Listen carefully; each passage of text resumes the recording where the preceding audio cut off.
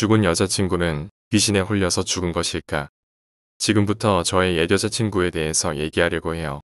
얼굴도 이쁘고 성격도 좋고 나무랄 데 없는 저에게는 완벽한 여자친구였죠. 하지만 사귀고 2년이 지났을 무렵 저는 여자친구의 이상한 행동 때문에 더 이상 견딜 수가 없었고 사귄 지 2년 반 만에 결국 헤어지게 되었죠. 그리고 저번 주 금요일 우연히 옛 여자친구의 소식을 듣게 되었는데 1년 전쯤 방 안에서 스스로 목숨을 끊었다네요. 유서 하나 안 남기고 사는 게 힘들었는지 그냥 호련히 떠나버렸다더군요. 하지만 그녀의 친가족이나 그녀와 친한 주변 사람들은 알 거예요. 그녀가 스스로 목숨을 끊은 이유를. 사건의 발단은 지금으로부터 약 4년 전. 저희는 1주년을 맞아 대부도로 1박 2일 여행을 떠났죠. 대부도에 도착하니 해가 뉘엿뉘엿 지는 초저녁이었어요. 펜션에 도착해 짐을 풀고 배가 고파 펜션에서 걸어서 10분 정도 떨어진 조개구 이 집을 갔었죠. 소주도 3병 정도 마시고 취기가 오른 저희는 노래방을 가려고 했어요. 주인 아주머니께 노래방이 어딨냐고 여쭤보니 이 근처에는 없고 조금 나가야 있다더군요. 저희는 아쉽지만 그냥 펜션으로 돌아가려고 펜션 쪽을 향해 걷고 있었어요. 시골 도로라 한적하고 어둡고 좀 음침하더군요. 여자친구도 무섭다며 손을 꼭 붙들고 가더군요. 그렇게 조금 걸었나. 올 때는 보이지 않던 어떤 건물 한 채가 서 있더군요. 근데 1층, 2층, 3층 불도 꺼져 있고 아무도 살지 않는 공사가 아직 덜 된 건물 같은데 지하를 향하는 계단엔 노래방이라고 써져 있는 핑크색 간판에 불이 켜져 있더라고요. 조금은 스산하고 어둡고 초라해 보이는 노래방이었지만 시골 노래방이 그렇겠지 생각했죠. 조금 무섭기도 하고 시설도 안 좋아 보이고 그냥 왠지 가기 싫었지만 저기라도 갈까 하고 물어봤죠. 근데 여자친구도 조금 깨름칙했는지 그냥 숙소로 가자고 하더군요. 저희는 다시 발길을 숙소 쪽으로 돌리고 몇 발제국 걸었나. 여자친구가 숙소 가면 술만 더 먹고 그냥 잠만 잘 것 같다며 다시 노래방을 가자고 하더군요. 그렇게 노래방 입구에 도착하여 지하로 내려가는데 여자친구가 음침하고 기분이 이상하다며 다시 숙소로 돌아갈까 하며 고민을 하더라고요. 저는 이왕 왔으니까 한 시간만 부르고 가자고 했죠. 그리고 입구문을 열었는데 주인도 없고 노래 부르는 손님들도 없고 분명히 새로 지어진 건물 같은데 노래방 시설이 너무 낡았더군요. 냉장고 안에는 음료수나 물도 없고 분명히 장사는 하는 집 같은데 이상한 기분이 들더라고요. 저는 아무도 안 계세요. 하고 외치려고 하는 순간 여자친구가 제 입을 막으며 조용히 하라고 하더군요. 그리고는 무언가 홀린 것처럼 3번 방 쪽을 향해 뚫어져라 쳐다보더군요. 저는 누가 있나 하고 그쪽을 쳐다봤는데 아무것도 안 보이더군요. 기분도 이상하고 점점 무서워지고 해서 여자친구 보고 그냥 갈까 하고 물어봤죠. 하지만 제 여자친구는 들은 척도 안 하더니 뚜벅뚜벅 3번 방을 향해 혼자 걸어가는 거예요. 그리고는 문을 찰칵하고 열더니 제 쪽을 향해 고개를 돌리고는 이리 오르며 손짓을 했어요. 그리고는 오빠 뭐해? 빨리 도와줘 갓난아기가 엄마 발에 밟혀 죽고 있어. 라고 말했어요. 순간 온몸에 소름이 확 돋더군요. 근데 절 더욱더 미치게 했던 건 여자친구의 미소였어요.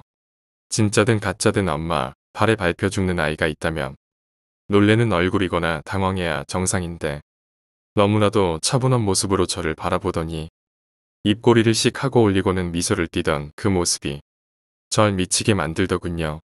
저는 장난치지 말라며 빨리 숙소로 가자고 짜증을 냈죠. 하지만 여자친구는 희죽희죽 웃으며 다시 오빠 빨리 와 어떤 엄마가 아기 얼굴을 발로 찍고 있어 도와줘야 돼. 하며 저를 5초 정도 멍하니 쳐다보더니 인상을 쓰며 방 안으로 휙 들어가더군요. 저는 당황하여 3번 방으로 성큼성큼 걸어갔죠. 그리고는 방문을 여는 순간 쓰러지고 말았습니다. 아무도 없는 방 안 그리고 아무도 없는 소파에 대고 여자친구가 발로 무엇인가를 마구 찍어대더군요. 그러더니 저를 바라보며 씩 웃더니 오빠 뭐해 빨리 이 아줌마 도와줘 하더니 죽어 죽어 죽어 하며 소파를 발로 마구 찍어대는 겁니다. 저는 방 안으로 뛰어들어가 뭐하는 거냐고 하며 여자친구를 끌어안았죠. 하지만 여자친구는 제 품에 끌어안긴 채 아무도 없는 소파를 향해 발길질을 멈추지 않더군요. 저는 여자친구를 안고 밖으로 뛰쳐나오는데 여자친구는 뒤쪽을 향해 조금만 더, 조금만 더 거의 끝났어. 얘 좀 봐, 날 보고 웃고 있어. 빨리 죽여. 죽여. 저는 몸부림치는 여자친구를 안고 온 힘을 다해 노래방을 나왔죠. 그렇게 광분을 하던 여자친구는 노래방에 나오자마자 스르르 힘이 풀리며 땅바닥에 주저앉더군요. 쓰러져 있는 여자친구를 다시 업고는 저는 숙소를 향해 달렸어요. 숙소에 도착해 여자친구를 침대에 눕혔고 정신을 잃은 여자친구는 몇 분 후 평온한 얼굴로 깨더니 무슨 일이 있었냐며 저를 물끄러미 바라보더군요. 여자친구는 아무것도 기억을 못하더군요. 자기가 언제부터 잤냐며 저보고 안 자고 앉아서 뭐 하냐고 물어보더군요. 여자친구는 아무것도 기억이 안 난다고 했어요. 그렇게 저희는 여행을 다녀왔고 그 뒤로 저는 한동안 그 공포에서 헤어나올 수가 없었죠. 한동안 여자친구를 만나면 계속 그 섬뜩한 미소와 알 수 없던 행동이 떠올랐고 여자친구는 정말 기억을 못하는 건지 정말 아무렇지 않은 듯 예전과 똑같았죠. 그렇게 몇 개월이 지나고 여행 때 겪었던 그 일들도 자연스럽게 기억 속에 묻혀갔죠. 그리고 그 뒤로 여자친구는 이상한 행동을 보인 적도 없고 평상시와 똑같았으니까요. 근데 지금 와서 가만히 생각해보면 여자친구는 하루가 다르게 야위어 가고 있었죠. 처음에는 매일 다이어트 다이어트 하며 살던 여자친구였기에 다이어트를 열심히 하나보다 하고 생각했죠. 그런 어느 날 여자친구를 오랜만에 보게 되었는데 얼굴은 못 먹은 거지 마냥 살이 하나도 없고 입술은 다 갈라져 피가 맺혀 있었어요. 저는 너무 안쓰러워 얘기했죠. 야 너 다이어트 너무 심하게 하는 거 아니야? 추운 겨울날 맨날 밖에서 그렇게 뛰어다니니까 입술도 다 갈라지지. 이제 말이다 못해 완전 아프리카에서 온 사람 같아. 여자친구는 절 보고 한 번씩 웃더니 머뭇머뭇거리다 얘기를 하더군요. 근데 오빠 우리 그때 1주년 기념 여행 갔다 온 이후로 나 자꾸 악몽 꾸고 가위 눌리고 그래. 사실 알고 보니 여자친구가 살이 빠진 이유는 일주일에 한두 번씩 겪는 악몽과 가위 때문이더군요. 저는 걱정스럽기도 하고 한편으로는 무슨 악몽을 꾸나 궁금해서 그 내용을 물어보고는 순간 잊어버렸던 그 기억들이 떠오르더군요. 꿈에서 내가 막 어떤 갓난 아기 얼굴을 발로 짓밟고 죽으라고 죽으라고 소리 지르고 근데 내가 그러고 있으면 어떤 여자가 내 뒤에 서서 쳐다보고 있는데 얼굴은 잘 안 보이는데 그 어둠 사이로 그 여자 입이 올라가고 웃고 있는 게 보여. 근데 나도 그렇게 그 아기를 짓밟으면서 그 여자를 보고 같이 이죽기죽 웃는데 순간 등에서 식은땀이 흐르고 온몸에 소름이 돋더군요. 그렇게 꿈에서 깨고 다시 잠이 들 때쯤이면 가위에 눌려 방문이 스르르 열려 그리고 잠깐 동안 날 지켜보는 것 같더니 따딱 하고 빠른 발걸음으로 나한테 다가와 그리고는 내 배 위에 올라와서 잠시 동안 서 있어. 그 순간 얼굴은 안 보이는데 날 노려보고 있다는 느낌은 확실해. 여자친구는 공포에 질린 얼굴이었죠. 바르르르 떨지만 눈물은 흘리지 않더군요. 그렇게 노려보고 있다가 뭐라고 중얼중얼거리면서 내 배 위에서 쿵쿵쿵 뛰기 시작해. 근데 안 보이던 얼굴이 그렇게 뛰기 시작해서 조금 높이 올라가게 되면 창문에 비치는 가로등 불빛 때문에 얼굴이 보인다.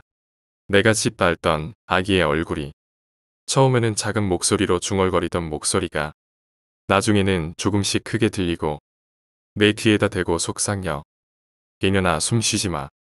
악몽과 가위에 시달리며 날이 갈수록 여자친구의 몸 상태는 더욱더 악화가 됐죠. 1주년 여행 이후 여자친구는 계속 아기 귀신이 보였고 정체 모를 여인의 모습이 제 여자친구를 조금씩 조금씩 죽음의 문턱으로 데리고 가는 것 같았죠. 결국 다니던 회사도 그만두게 되었고 병원도 들락날락해 보았지만 아무런 효과도 없었어요. 아니 이제와 생각해보면 여자친구도 그 공포를 즐기는 듯 싶었어요. 그 공포 속에서도 여자친구는 알 수 없는 미소를 보였으니깐요. 그렇게 건강이 호전될 기미도 안 보이고 회사도 그만두고 여자친구는 고향에 계신 부모님께 내려간다고 하더라고요. 여자친구가 고향에 내려가기 전 일주일 동안만 짐 싸는 것도 도와주고 조금이나마 힘이 돼주고 싶어. 저도 저희 부모님께 허락을 받고 여자친구 집에서 잠시 머물 때였죠. 정말 이 일주일은 제 인생에 있어서 가장 큰 공포의 순간이었고 여러분들은 절 겁쟁이라 욕할지 모르시겠지만 전 일주일 후 정말 여자친구를 떠날 수밖에 없었어요. 공포의 시작은 아마 둘째 날부터였을 거예요. 전 퇴근을 하고 허약해진 여자친구를 위해 몸에 좋은 음식들을 잔뜩 싸들고는 여자친구 오피스텔에 도착해 계단을 걸어 올라가려고 했죠. 5층으로던 오피스텔이었고 여자친구 집은 4층이었죠. 입구에 도착해서 1층 계단을 반쯤 올라갔을까. 여자친구 목소리가 들리더군요. 히히히 온다 온다 온다. 전 여자친구가 제가 오는 줄 알고 복도에서 마중 나와 있는 줄 알았어요. 그래서 설레는 마음에 좀 더 빠른 걸음으로 올라갔죠. 근데 3층쯤 도착했는데 여자친구가 갑자기 킥킥하고 소름 끼치는 웃음소리를 내더군요.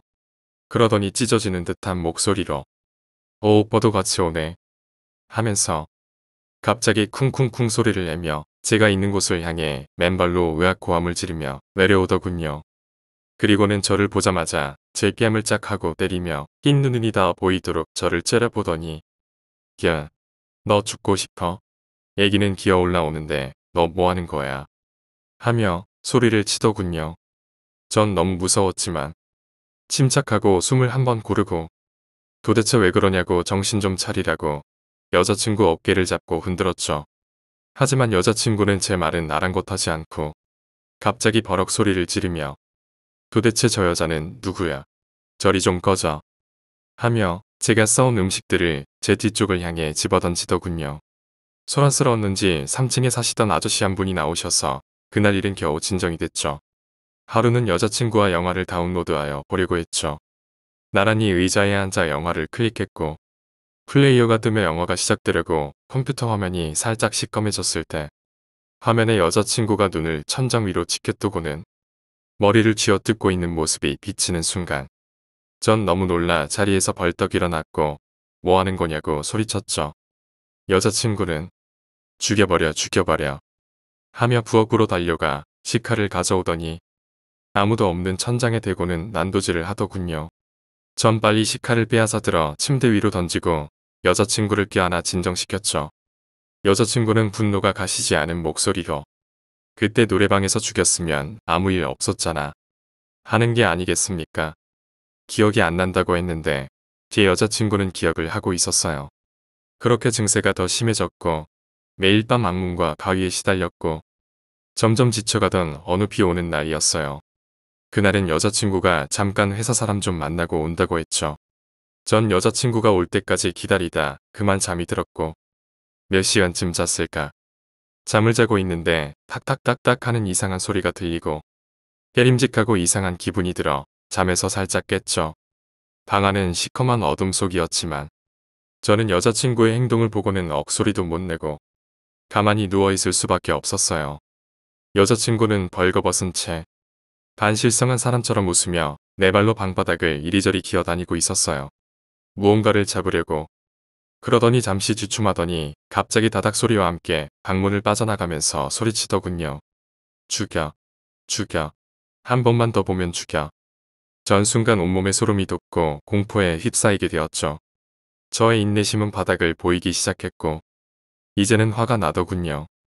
전 벌떡 일어나서 불을 켜고 방문을 나가려는데 여자친구가 밖에서 문고리를 잡고 야 빨리 숨어. 얘 나온다. 흥. 더 이상 안 되겠다 싶어.